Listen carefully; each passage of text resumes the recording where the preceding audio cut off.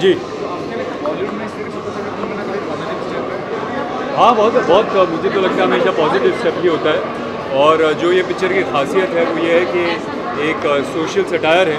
लेकिन ये इसमें एंटरटेनमेंट बहुत है कॉमेडी है रोमांस है ड्रामा है। तो everything that it needs to entertain the audience is there but at the same time it also has a really strong message